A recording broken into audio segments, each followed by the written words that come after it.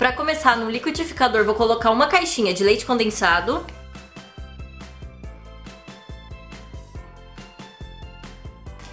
Uma caixinha de creme de leite. Dois copos de iogurte natural. Pode ser qualquer marca, tá, gente? Não tem marca certa. E põe um pacotinho de suco de morango. Pode ser qualquer marca, tá?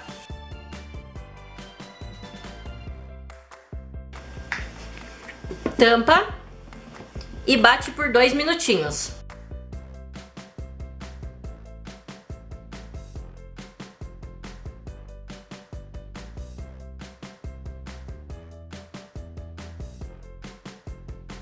Prontinho. Já bati bem. Ó, dá uma soltada assim nas lateral se ficar um pouco, tá? Que às vezes acontece de ficar bem pouquinho assim, ó. O meu ficou bem pouquinho. Então eu vou dar uma misturada assim só com a espátula mesmo, tá? Ó, ele já dá uma engrossada boa, tá?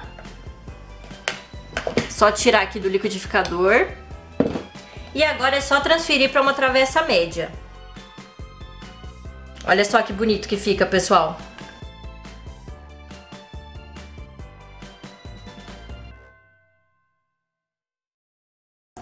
E é só tá levando lá na geladeira por uma hora até aderir um pouco mais de consistência. Aí depois eu volto, tá? Enquanto nossa primeira parte do creme tá lá na geladeira aderindo consistência, vamos fazer a segunda aqui, tá? Vou colocar uma caixinha de leite condensado.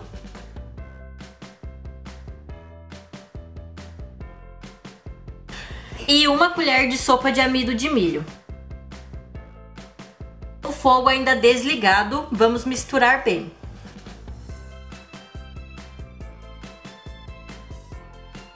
Tem que dissolver bem esse amido, pessoal, para não correr o risco de empelotar depois, tá?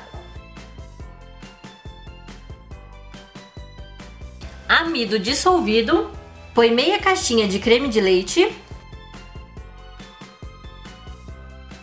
uma gema, uma xícara de chocolate em pó, pode ser o chocolate da sua preferência, tá? Dá uma misturadinha nesse chocolate também, pra dissolver antes de colocar o leite, tá?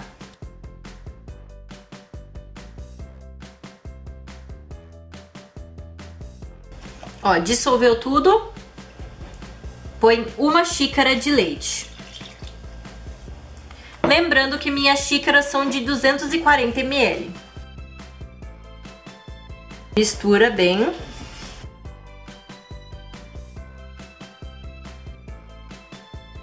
Depois de dissolver todos os ingredientes, pode ligar o fogo. Agora nós vamos ficar misturando aqui até aderir uma consistência, tá?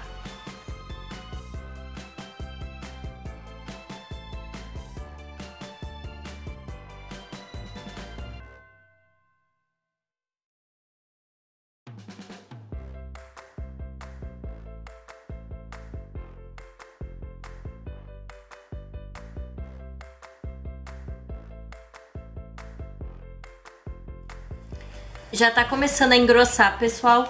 Nessa hora que não para de mexer de jeito nenhum, tá? Se você parar de mexer, vai empelotar, vai grudar tudo e não vai ser legal.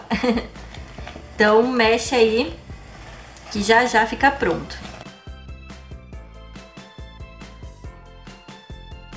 Ó, já criou uma consistência bem boa, pessoal. Eu vou mexer aqui só por mais um minutinho pra cozinhar bem o amido do milho, tá?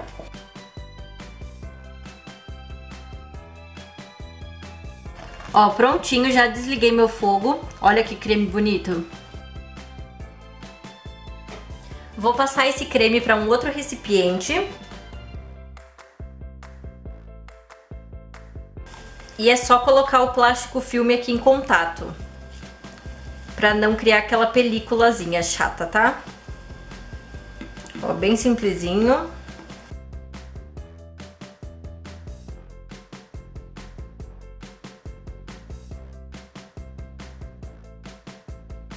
E agora é só deixar esfriar para poder colocar em cima daquela primeira parte da nossa sobremesa, tá? Porque se colocar quente, a primeira parte desanda. Então tem que deixar aqui ficar em temperatura ambiente, aí nós podemos estar tá colocando por cima, tá? Prontinho, pessoal, já deu uma mornada boa aqui.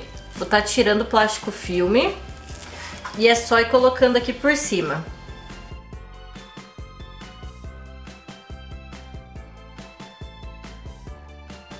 Olha só que lindo que ficou, pessoal. Chocolate bem brilhoso.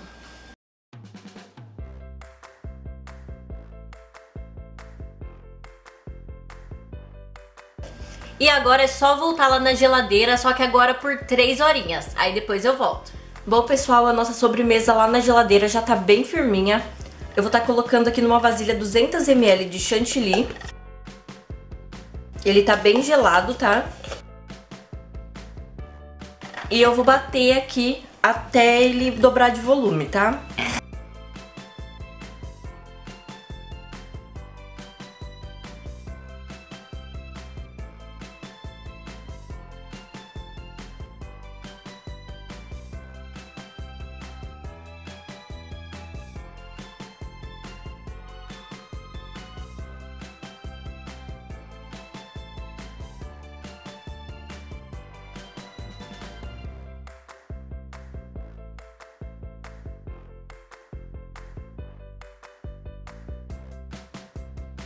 Ó, prontinho, pessoal, já ficou bem firminho o nosso chantilly. Agora a gente vai estar tá colocando aqui por cima, tá?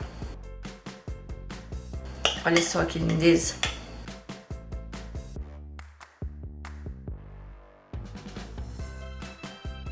Espalha bem.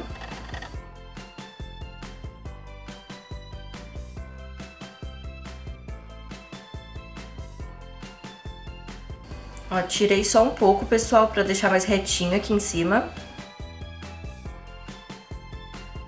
Ó, pessoal, já dei uma limpada aqui nas laterais. Agora eu vou estar tá vindo com a colher assim, ó, e dando umas batidinhas de leve, tá? Quem tiver bico aí, pode fazer com bico também, tá? O desenho que quiser. Ó, vai dando as batidinhas assim, ó, de leve, que ele vai formando esse desenho, ó.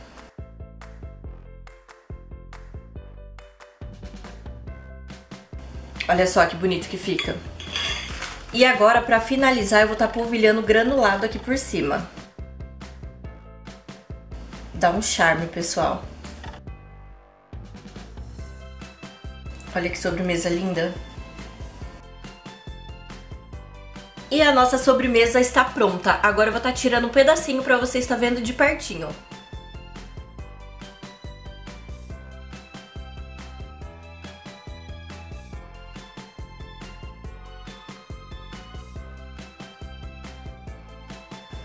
Olha só isso, gente, bem de pertinho aqui pra vocês. Olha que maravilha. Agora eu vou estar tá colocando num pratinho pra vocês estar tá vendo de melhor, pra sentir a textura dele, tá? Bom, pessoal, já coloquei num prato aqui, ó, pra vocês estar tá vendo de pertinho. Olha só isso. Deixa eu mostrar aqui pra vocês a textura que fica super cremosa dessa sobremesa. Olha isso, gente. Vale super a pena estar tá fazendo aí na casa de vocês, tá? E esse vai ser o resultado final. Espero que vocês tenham gostado.